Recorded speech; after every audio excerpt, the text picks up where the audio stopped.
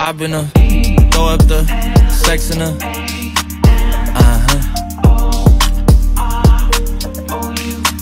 And I can put you in